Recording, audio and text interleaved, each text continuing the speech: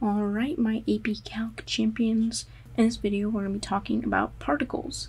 So this problem says a particle P is moving along the x-axis. The velocity of particle P at time t is given by v of P of t, which is sine of t to the 1.5 power. For t is between 0 and pi. At time t equals 0, particle P is at position x equals 5. A second particle q also moves along the x-axis. The velocity of particle q at time t is given by this, also between 0 and pi. At time t equals 0, particle q is at position x equals 10. Find the positions of particles p and q at time t equals 1. So before we jump into this first problem, I think it's important to talk about the relationship between position, velocity, and acceleration. We've got position, velocity, acceleration. So if we take the derivative of the position, we get the velocity. We take the derivative of velocity, we get acceleration, okay? Those are related in that direction by the derivative. And then since the opposite of a derivative is an integral, you can you can move from acceleration to velocity by integrating its equation and from velocity to position by integrating that as well. Right, so that should sort of set up this baseline concept of the relationship between these three things. So then, if our problem is asking us for the positions at time t equals 1, it seems like we're going to want to do an integral because all that we were given were these velocities. Lucky for us, it also tells us the position at time equals zero for both particle P and Q. So if we wanted to find the position at time t equals one, we would just need to take the position at t equals zero and then add it to the integral from 0 to 1 of either p of t or q of t. Let's find the position of particle P first. So the position at t equals 0 for particle P is 5. And then we add the integral from 0 to 1 of the velocity. So that would be sine of t to the 1.5 power dt p p at 1. So this, so this is equal to 5.371 and then we can apply that same concept to find the position of particle q at time 1. So p of q1 is equal to, it's at position 10 at time t equals 0. So 10 plus the integral from 0 to 1 of t minus 1.8 times 1.25 t dt. And since this is a calculator problem, you can just go ahead and plug this stuff into your calculator. So this is going to give us 8.564. So those are the two answers for our positions. Moving on to the next problem, we get our particles P and Q moving towards each other or away from each other at time t equals 1. Explain your reasoning.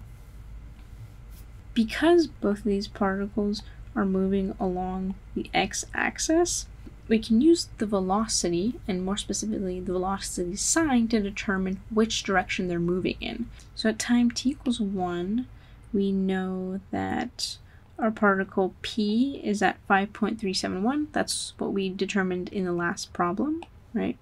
And we know that the position of particle Q is at 8.561. So we could label it like this just so we have a visual.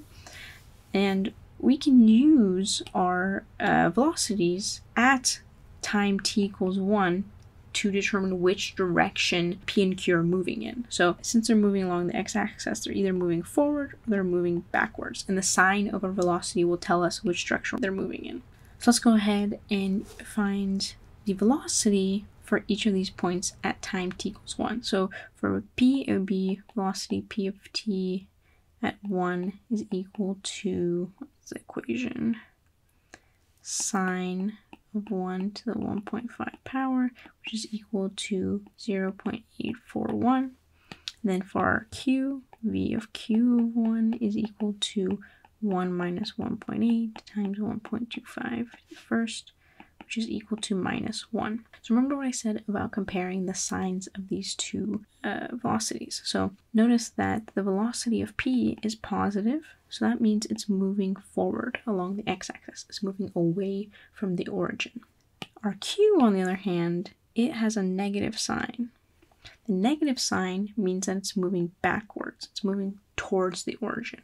Since we have these starting positions, and since particle q is moving to the left, and particle p has a positive velocity is moving to the right, they're moving towards each other. So we can kind of write that out like because particle p starts at 5.371 at t equals 1 and has a positive velocity, it is moving to the right.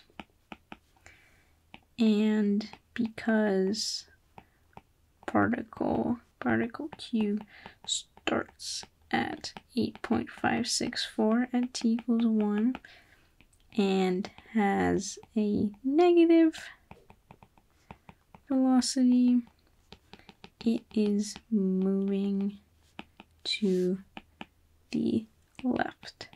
So they are moving toward each other.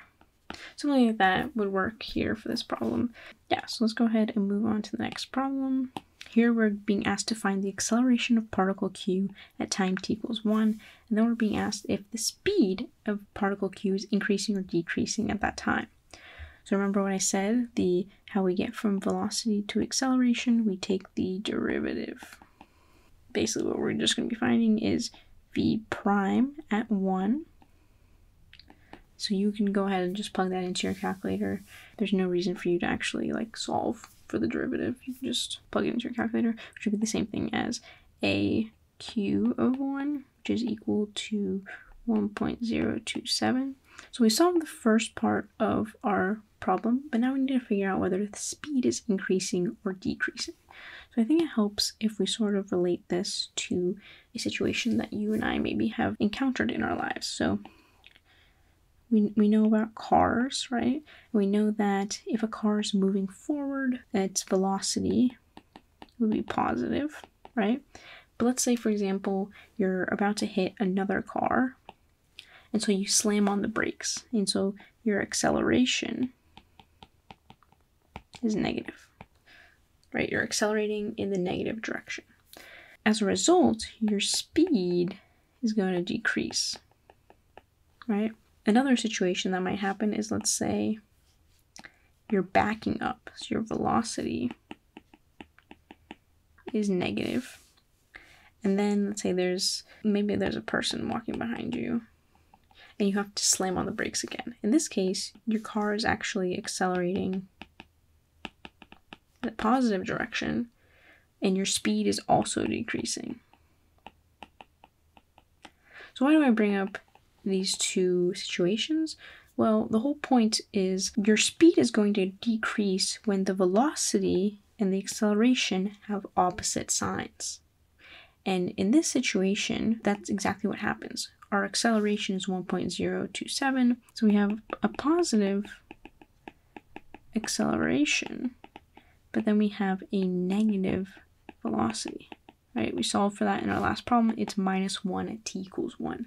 So in this case, going off of our car examples, we would say that because the velocity and the acceleration at t equals 1 half opposite signs, the speed of particle q is decreasing. Moving on to the last problem, we're being asked to find the total distance traveled by particle p over the time interval that t is between 0 and pi. And I've included our velocity again. How do we get from velocity to distance? We take the integral. And then one thing I'd like to point out here is you might be tempted to just write 0 to pi of sine of t 1.5 to the 1.5 power dt and then solve for that, this would actually be incorrect. The reason why has to do with the fact that we're calculating the total distance.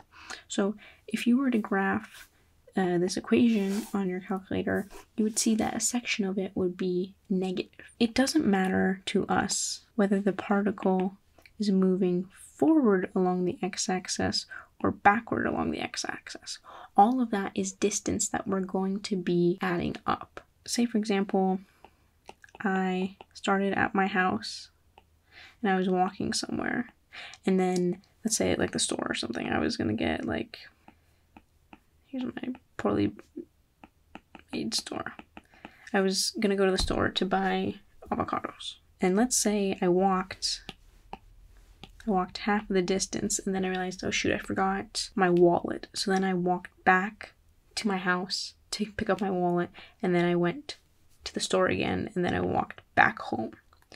So just because I had to double back to go back to my house and just because I had to go back to my house from the store doesn't mean that all of these distances are going to cancel out because, you know, I'm retracing my steps what actually is going to happen is we're going to count this as some distance, let's call it d divided by 2, the d divided by 2, and then this is d and d. We're going to add all that up. And so the same is true here, where we're actually going to want to take the absolute value of sine of t of to the 1.5 power and then take the integral of that to get our total distance. Because otherwise what we're going to be doing is instead of finding the area under the curve, what's going to happen is the area under the curve that's below the x-axis of sine of t to the 1.5 power is going to subtract from our area above the x-axis. And we don't want that to happen. We want to find just the total of the area under the curve and add all that up. If we plug this into our calculator, we're going to get that this is 1.931. And that is our answer for D. Hopefully this helps you out with this AP Calculus problem. If you have any questions, feel free to leave them down below and I'll get back to you. And I hope you have a great rest of your day.